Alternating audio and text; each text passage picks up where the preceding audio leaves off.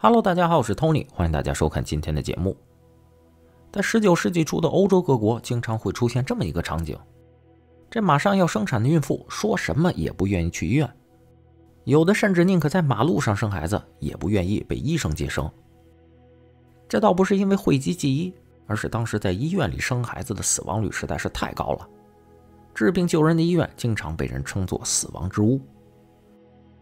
很多健康的产妇入院生产后几个小时就会莫名其妙的得上产褥热，医生既解释不了他们患病的原因，也没有任何有效的治疗方法。这能不能好，完全就看病人自己的体质了。根据统计，那段时间欧洲妇女死亡的第一原因是肺结核，第二就是产褥热，死亡率高达百分之十。不幸患上产褥热的产妇有一半最终都逃不过死亡的厄运。当时的社会对这个现象已经麻木了，而一位刚刚入行的年轻匈牙利医生对此就痛心万分。经过长时间的分析和一次偶然事件的启发，他终于发现了这里面的原因。他通过采取一个小小的措施，就把他所在医院的产妇死亡率降到了百分之二，他因此被人称为“母亲们的救星”。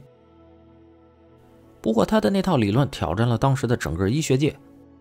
外界的压力和内心的愤怒慢慢让他丧失了理智，最终在一间精神病院郁郁而终。今天我们就来缅怀一下这位伟大的医生，聊聊这里面的故事。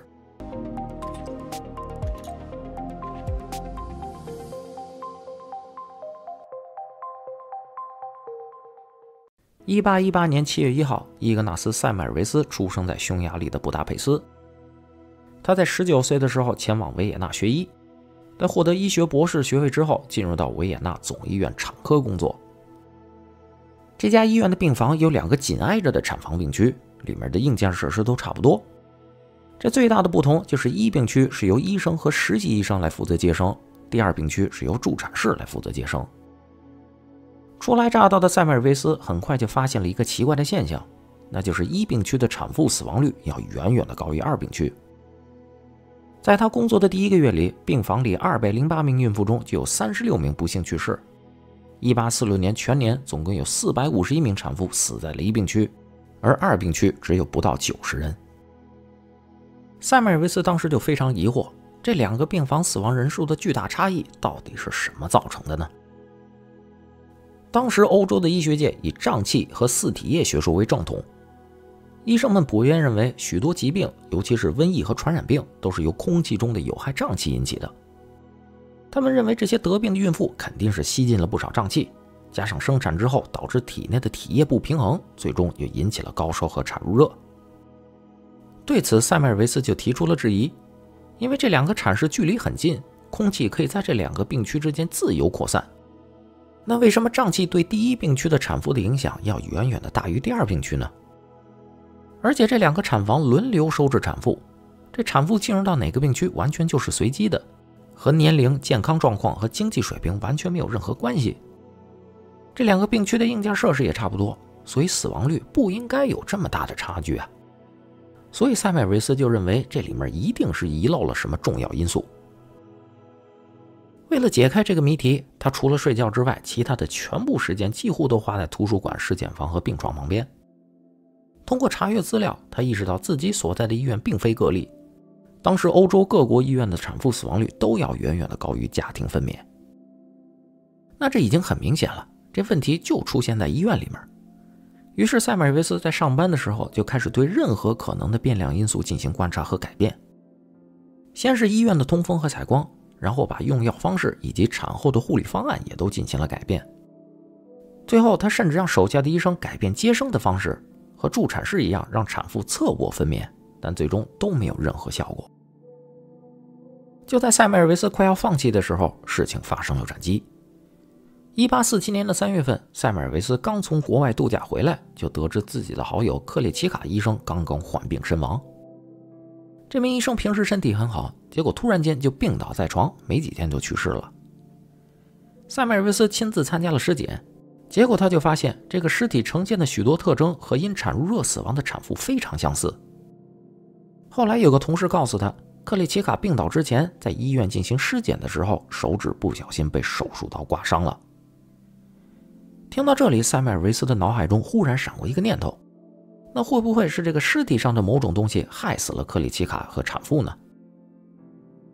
有了这个新的思路，塞梅尔维斯很快就发现，第一病区的医生和实习生们每天上午都是先去进行尸体解剖，然后再来产科病房查房。这些医生们每天都用触摸过尸体的手为产妇体检和接生，而二病区的助产士就从来不参与解剖尸体这种工作。当时的奥匈帝国在几年前颁布了法律，从1840年开始，要求所有的医学生都要学习尸体解剖。而塞梅尔维斯在回顾医院以往数据的时候，就发现这家医院在1833到1840年两个病区的死亡率并没有明显的区别。而就在这条法律颁布之后，维也纳总医院将所需要进行尸体解剖和产科学习的医学生都安排在了第一病区，实习助产士都被安排到了第二病区。从那年开始，第一病区的平均死亡率就上升到了百分之十，是第二病区的两倍以上。至此，塞麦维斯对产褥热病因的假设已经非常明确，那就是医生们进行尸检操作之后，不干净的双手将尸体上的某种东西传给了产妇们。为了验证他的推论，塞麦维斯就要求一病区所有的医生在解剖操作之后都必须洗手，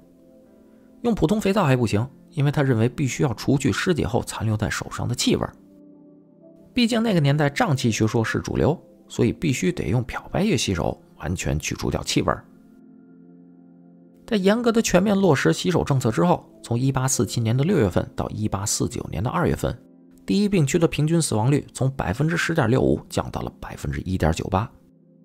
这就更加让塞梅尔维斯坚信他找到了问题的根本。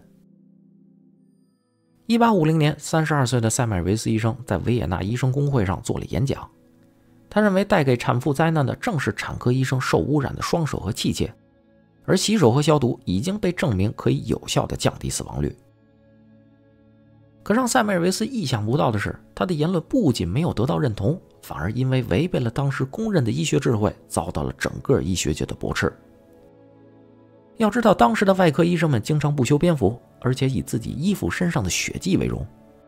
他们的手越脏，衣服越埋汰，那就越能证明他经常参加手术，医术高超。结果现在，塞梅尔维斯的这套理论竟然把这口锅扣在了他们的身上，这就严重的挑战了他们的权威和形象。再加上当时许多欧洲国家在革命的浪潮中动荡不安，所以医学界宁可选择死守传统观念，也不愿意相信这个年轻人提出的证据和理论，更不愿意承认医生的手是脏的。塞梅尔维斯的激进观点受到了打压和排挤，他很快就丢掉了工作，回到了布达佩斯的小产科病房上班。他原先工作的医院也废除了洗手制度，死亡率再度回到以前的水平。虽然饱受排挤，但是塞梅尔维斯始终没有放弃自己的理论。他先是在匈牙利的医学周刊上发表了三篇论文来论述自己的观点，后来又在1861年出版了著作《产褥热的病原、症状和预防》。但是无论他再怎么呼吁，也根本没有人再来理睬他了。就这样，塞梅尔维斯一点点的被内心的愤怒和外界的压力压垮，他开始变得抑郁和多疑，有时候甚至出现暴力倾向。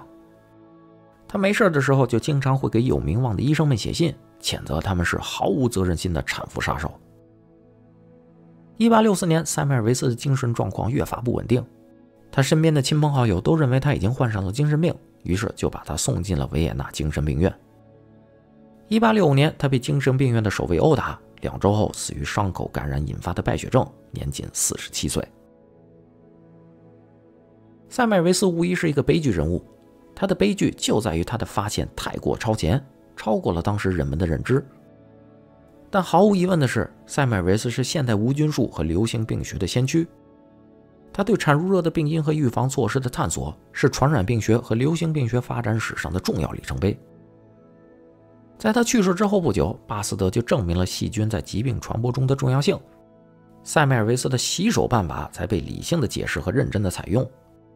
现在看来，再普通不过的洗手就是无菌术的开端。纵观历史，人类的每一场科学革命都是对人们长期信奉的理论的彻底破坏，是对绝大多数人信仰的颠覆。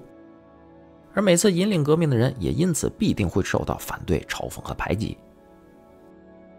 我相信塞麦尔维斯从来就没有想过要成为科学巨人，